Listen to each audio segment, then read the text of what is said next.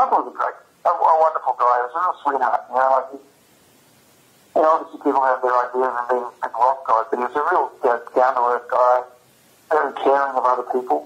He was always caring more about what other people, how other people are feeling than himself, which is possibly you know, not a great thing for him to.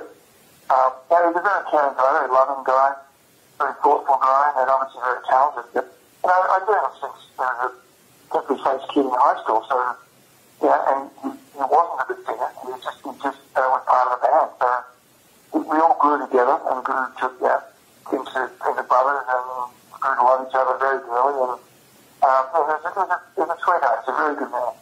Yeah. Uh, that's, that's really, really insightful. Michael was a great, a, a wonderful guy. He was a real sweetheart. You know, like he, you know, obviously people have their ideas and being